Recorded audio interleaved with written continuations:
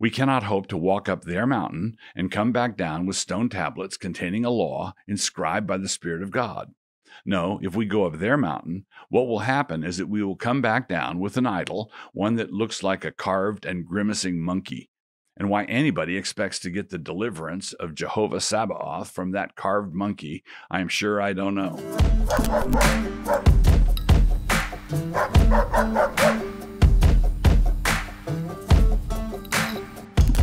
Introduction The only real science involved in all the corona panic anymore is the science of crowd control. And however poorly our governments may have done with regard to the virus itself, having run out of rest homes to put the contagious in, they've done a marvelous job when it comes to manipulating and all round spooking the general population. Now, there are plain indications of significant restiveness here and there, but overall, the Totalitolerance Brigade has gotten away with a whole lot more than I think even they believe possible. They are not interested in the science called virology. It is more like the science of compliance. But one of the things that has been revealed as a consequence, at least for those who have kept their eyes open, is the exact nature of the endgame we are facing. That endgame is control. Control without breaks, control without limit, control without any system of restraints. Just as Richard Rorty once said the truth is whatever his contemporaries let him get away with, so also human rights, to the current managerial elite, are in that same malleable category. Whatever they can successfully seize must somehow belong to them. Due process is whatever their lapdogs in the media are prepared to let them get away with. Those pockets of restiveness. I've been pleased and surprised at what has started to happen in Canada things that make me the right kind of proud of my Canadian heritage. Have I mentioned that my mom was from Alberta? No, I'm not referring to the Canadian government, which is being every bit as demented and twaddlesome as the government reigning over my place of birth, that being the state of California, which is saying something. I was rather referring to the patrons of the restaurant in British Columbia chanting at the inspectors to get out. I was referring to the Polish pastor in Canada who managed to abbreviate that simple message down to the pithier word out, along with a postscript of psychopaths. But preeminently, I'm referring to Pastor James Coates, who was imprisoned for refusing to stop preaching. And after he was released, the officials then felt constrained to build a big fence around his church, and they padlocked it. The official guardians of freedom, Alberta style, then dispatched 200 cops to keep people from worshiping at the barricade. When this is all over, a lot of pastors need to contemplate what is happening, and then they all need to put on their Coates coats.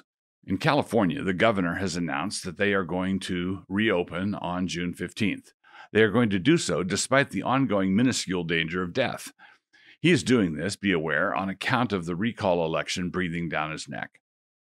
Millions signed the petition for that recall, those millions being among the remaining Californians who didn't move to Texas or Idaho. And then in Florida, their governor has banned vaccine passports, and good on him. He was followed in this by the governor of Texas. And just the other day, our governor here in Idaho did the same thing by executive order. Further, our governor forbade any state agencies from sharing any vaccination status info with anybody, whether private companies or other government agencies. Given how singularly unhelpful our governor was on the whole lockdown question, this stand almost certainly indicates a politician's sense of some shifting winds. So, like I said, signs of coordinated resistance developing here and there, all downstream from Darwin. People act the way they do for reasons. As Richard Weaver taught us, ideas have consequences. If you believe in God, if you think that the cosmos was created from nothing, if you believe that mankind was created in the image of God, then it is possible for you to believe that we have rights. And by rights, I do not mean privileges, but rather actual rights. These rights cannot be revoked by bureaucratic fiat, they cannot be abridged by executive order, and they cannot be adjusted or trimmed by the winners of elections, stolen or otherwise.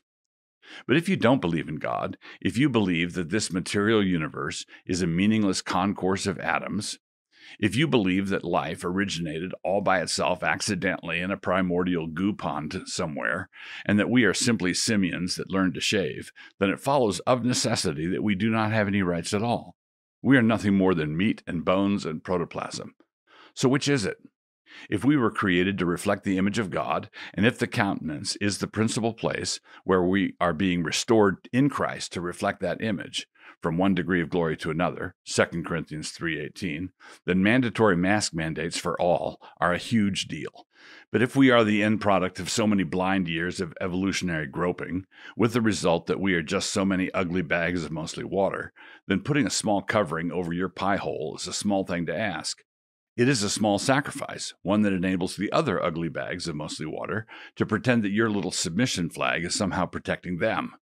It is not actually accomplishing that task, but it is accomplishing the thing it was assigned to do, which was to reinforce the hegemonic control lusted after by the ugliest bags of mostly water.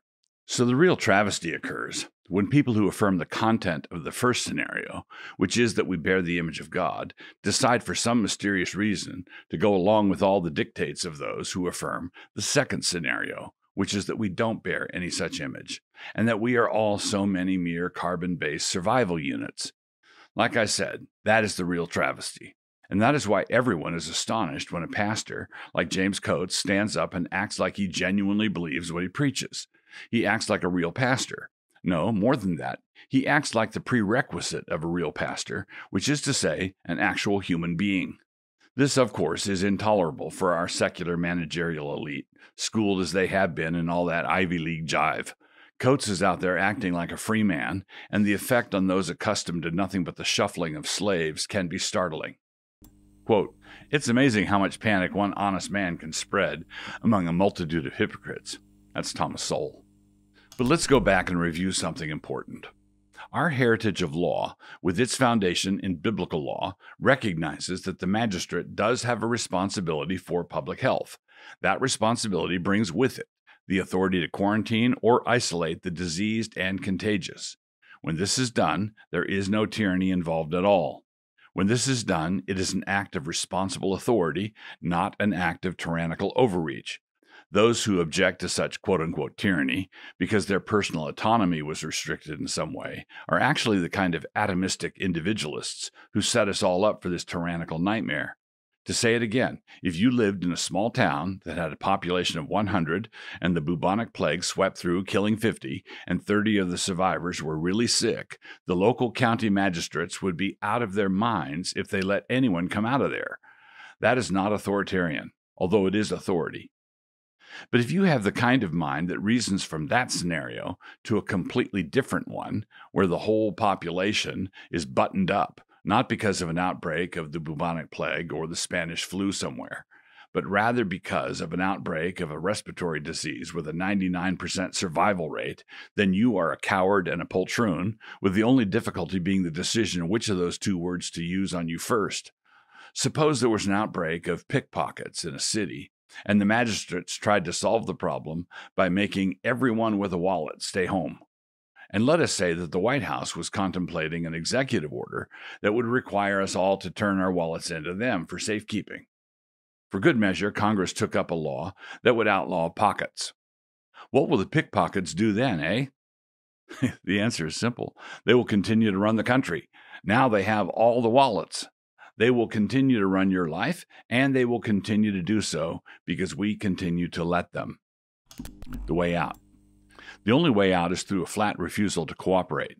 If the managerial elites running this clown show have a worldview that allows them to do whatever they can get away with, the first order of business is to refuse to allow them to get away with any of their enormities.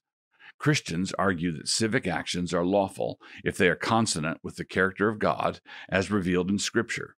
Our law is based on the nature of our God as revealed in the Word, in the world around us, and in the conscience of man. This foundation is not subject to repeal.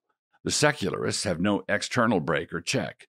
They have no God outside their system because their system is their God. This is why they serve a God of power and control. That means that they deem any actions lawful if they manage to leverage their power in such a way as to control the outcomes. Their system is a system of natural selection, survival of the fittest, and so they act accordingly. They also serve the father of lies and hence have no problem with lying. If lying doesn't work, they won't do it, but if it does, they will. And whether or not it works has nothing to do with whether or not we know they are lying. It is possible for their plan to be visible to us and still work. Quote, we know they are lying. They know they are lying. They know we know they are lying. We know they know we know they are lying, but they are still lying. Alexander Isayevich Solzhenitsyn. Look, think about it. We have no business appealing to their God with any hope of getting the kind of determination that we would get if we were appealing to our God.